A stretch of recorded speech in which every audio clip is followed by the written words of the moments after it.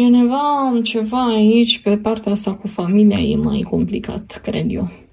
Asta o să, că, o să vă cam dea uh, bătăi de cap.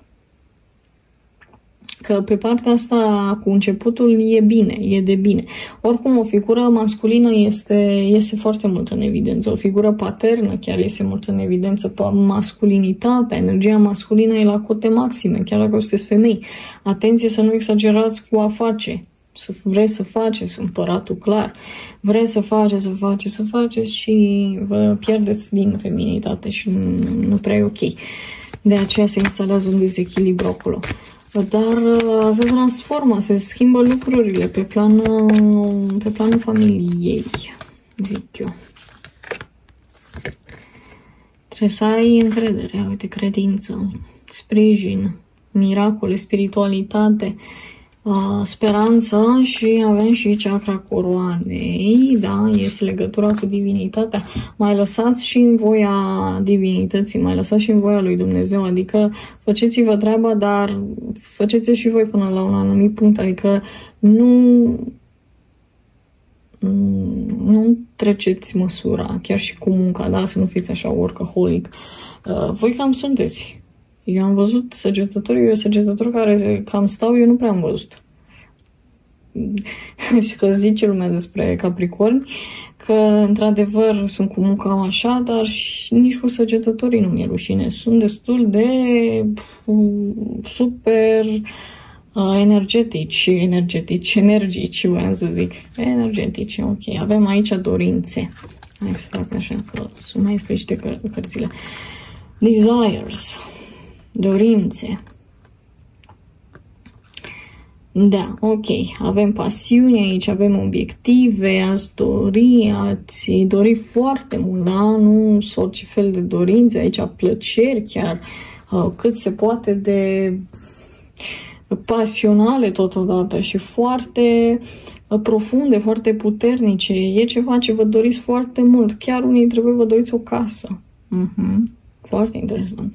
Vă doriți o casă, vă doriți să faceți ceva la casa aia, vă doriți în sfârșit să vă uh, duceți și voi într-un loc uh, al vostru, nu știu, o bibliotecă, habar n-am, e ceva aici foarte mare din punct de vedere uh, palpabil, adică o bibliotecă, o casă, o mașină, un apartament, vă doriți așa ceva al vostru. Bun, avem creativitate, da, o să știți să vă pliați pe aceste lucruri, pe aceste obstacole care vin. Uh, sunt niște ape tulbure aici în spate, da, și apa este foarte uh, agitată, sunteți foarte agitați și voi, oricum de fel sunteți, și, dar veți și așa să, să să profitați de, de perioada asta prin creativitate sau ar trebui să vă folosiți foarte mult creativitatea că o să vă ajute. După părerea mea, dacă aveți o rutină, să-i faceți ceva, să o schimbați puțin, să o faceți mai creativă, da? Pasional, uite, pasiune, originalitate, imaginație, uite, acțiune, ce ziceam? Uh-huh. Multă, multă acțiune și inspirație. Da, trebuie să transformați ceva la modul în care acționați moartea, da? modul în care acționați în ceea ce privește casa, în ceea ce privește familia, în ceea ce privește acest bărbat în vârstă, mai matur, poate să fie vorba chiar despre șeful casei, poate să fie vorba despre cel care te ajută din punct de vedere financiar pe aici, pe acolo, din când în când. Trebuie să aveți foarte multă inspirație cum să abordați această persoană. Se schimbă ceva în modurile voastre, în abordarea voastră, aș putea spune, de comunicare cu această persoană și nu numai, cu aceste persoane în această împrejurime, în această uh, situație cu familia, cu casa, cu proiectul, cu ceva ei, dar are de-a face cu casa mai mult în, în, în etalarea voastră de acum.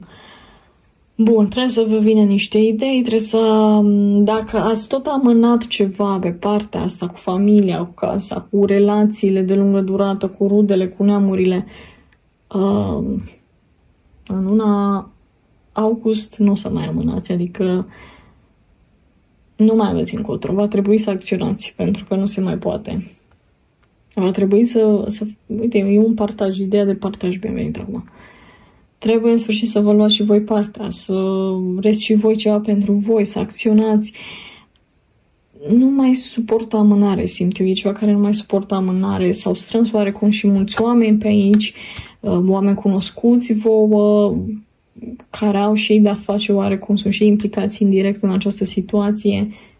Deci trebuie să, să porniți, să faceți ceva și veți avea nevoie de foarte multă inspirație, foarte multă ghidare divină, că am văzut acolo chakra coroanei, veți avea nevoie de foarte multă intuiție aici. Chiar, chiar dacă este vorba despre ceva mare și important, pe plan fizic, chiar vă sfătuiesc să vă folosiți intuiția și să faceți așa cum simțiți voi acolo, pe partea asta.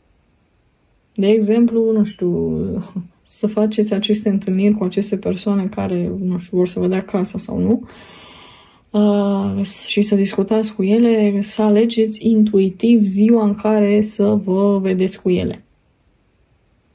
Da? Deci, foarte important. Asta e un exemplu concret.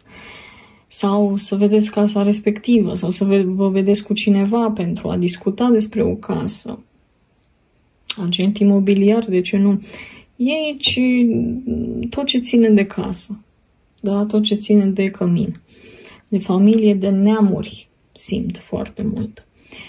Um, ca zodii berbec, în mod special berbec, scorpion, um, rac, pești, un alt săgetător, um, aș mai zice leu, și cam atât. Și o zodie de pământ. Hai că am zis tot Capricorn pe aici, pe acolo, deci Capricorn. Da, și am văzut și regele de monede. Iar ca zile importante, 12, 4, chiar dacă nu o să vedeți pe 4 august, 14 august, la fel zilele următoare, după 4 august, 5, 6, 7 și tot așa. 14 uh, august în orice caz, 12 august, 24, 22, 13 august.